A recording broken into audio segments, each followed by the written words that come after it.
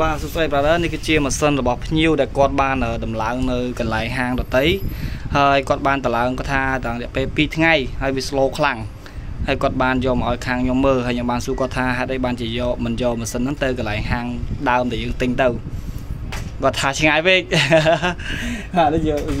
អានេះគេថាជាជាលើរបស់គាត់ជាបញ្ហារបស់គាត់ទេប៉ុន្តែយើងអត់បញ្ហាទេបើសិនអ្នកគ្នា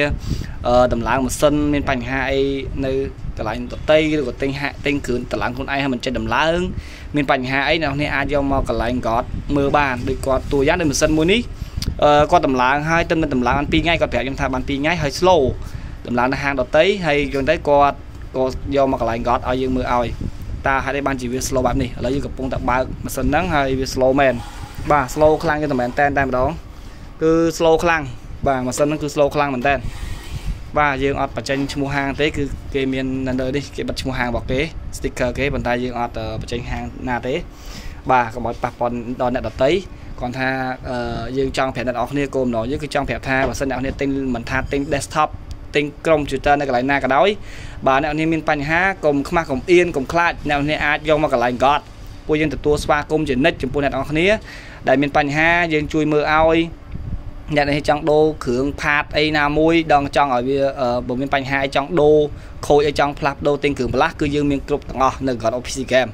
បាទយើងយើងមានគ្រឿងបន្លាស់សម្រាប់ម៉ាស៊ីន clone អញ្ចឹងអ្នកនរគ្នាដែលចង់ដំឡើងឬក៏ចង់ upgrade ម៉ាស៊ីនដែល ដែលទិញពីនាយមកទិញពីគេមកអញ្ចឹងណាអ្នកគ្នាអាចយកមកកន្លែង God ដើម្បី upgrade គ្រឿងឬបើថាជាខូចអីចង់ទិញគ្រឿងបន្លាយបានដោយម៉ាស៊ីននេះអញ្ចឹងវា slow អញ្ចឹងជាមួយខ្ញុំមើលម៉ាស៊ីនជាមានបញ្ហាទី